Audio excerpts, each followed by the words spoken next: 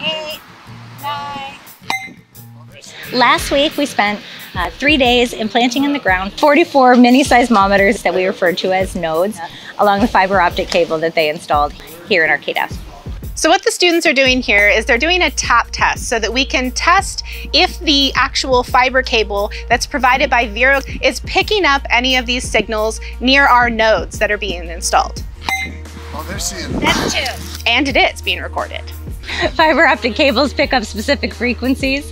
Uh, we will hopefully, on a larger scale, be able to record earthquakes using the fiber optic cable. And we're taking data research for the next 60 days and possibly longer if it works the way we think it's going to.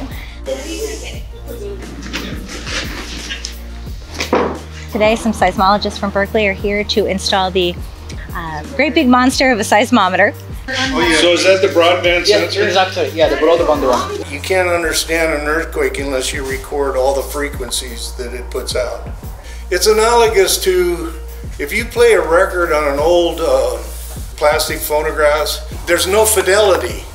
But now these these instruments they record all the frequencies so we get the full animal. So now we're really understanding what's going on in the earth.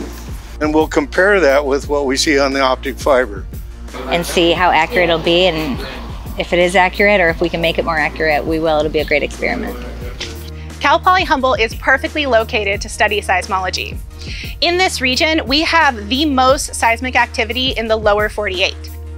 We will be able to take that data and we could utilize it for local uh, seismographic details or we could take it all the way across, hopefully using the fiber optic cables all the way through the ocean. You know, and we can try to try to warn people before these big seismic episodes are going to happen and people don't have to get hurt.